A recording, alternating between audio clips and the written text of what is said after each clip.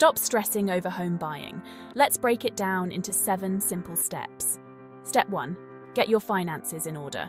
Know your budget and get pre approved for a loan. Step 2 Find a good real estate agent. They'll help you navigate the market and find the best deals. Step 3 Start house hunting. Make a list of must haves and nice to haves. Step 4 Make an offer. Your agent will guide you through this part. Step 5 Get a home inspection. Make sure there are no hidden surprises. Step 6 Finalize your mortgage. Work with your lender to get the best rates. Step 7 Close the deal and move in. Congrats, you're now a homeowner in Australia. Buying a home doesn't have to be daunting. Follow these steps and you'll be unlocking your new front door in no time.